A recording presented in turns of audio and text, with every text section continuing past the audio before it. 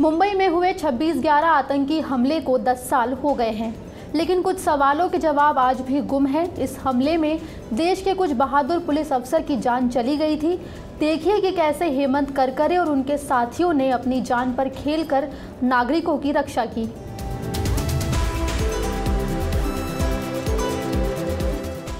मुंबई में हुए आतंकी हमले को 10 साल हो गए हैं। इस आतंकी हमले में एक सौ छियासठ लोगों की मौत हो गई थी और सैकड़ों जख्मी हुए थे। साथ ही 18 पुलिसकर्मी भी शहीद हुए। लेकिन शहीद हुए पुलिसकर्मियों में से कुछ की मौत को लेकर आज भी सवाल उठते हैं, जिसमें सबसे प्रमुख नाम एटीएस के पूर्व प्रमुख हेमंत करकरे का है।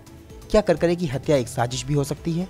साल 2009 में महाराष्ट्र के पूर्व आईजी एस एम मुशरीफ ने अपनी किताब हु किल्ड करकरे में महाराष्ट्र के पूर्व एटीएस प्रमुख के पी रघुवंशी पर आरोप लगाया था कि 26 नवंबर को के पी रघुवंशी मौके पर मौजूद थे। और उन्होंने हेमंत करकरे को दो आतंकवादियों के स्थान के बारे में गलत जानकारी दी, जिसके बाद वे पहुँचे, तभी एक सुनसान जगह पर उनके पुलिस वाहन पर आतंकवादियों ने छुपकर हमला बोल दिया था। इस हमले में करकरे के अलावा पुलिस आयुक्त अशोक कामटे और एनकाउंटर विशेषज्ञ विजय सालस्कर शहीद हो गए थे। समय समय पर राजनीतिक पार्टियों ने भी इस पर सवाल उठाए हैं और मामले को मालेगांव ब्लास्ट और उसके बाद होने वाली गिरफ्तारियों से भी जोड़कर देखा जाता रहा है।